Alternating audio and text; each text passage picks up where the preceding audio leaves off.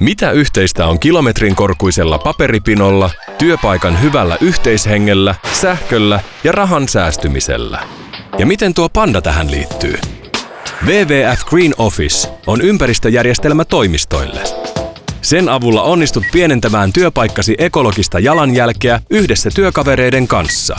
Green Officen avulla ympäristöystävällinen arki on helppoa ja hauskaa. WWFstä saat käyttöösi työkaluja, joiden avulla toimisto vihertyy nopeasti. Green Office-toimistoissa kiinnitetään huomiota esimerkiksi energian kulutukseen, kierrättämiseen, paperin säästämiseen ja kestävään matkustamiseen. Kun vähennämme kulutusta ja teemme fiksuja valintoja, maapallokin voi paremmin. Samalla säästyy rahaa. Henkilöstöä kannustetaan arjen ekotekoihin. Pieniltäkin tuntuvilla teoilla voi olla suuri vaikutus, kun mukana on koko toimisto. Saat nopeasti aikaan mitattavia tuloksia.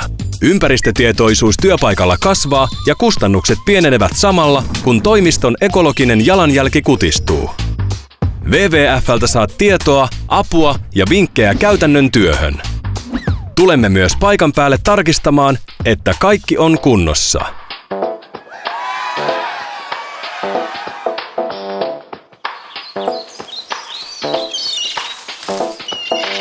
Green Office on tapa tehdä hyvää yhdessä.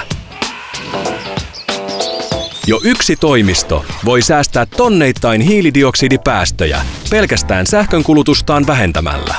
Saman verran päästöjä syntyisi, jos ajaisi autolla neljä kertaa maailman ympäri. Green Office tekee hyvää sinulle ja maapallollesi.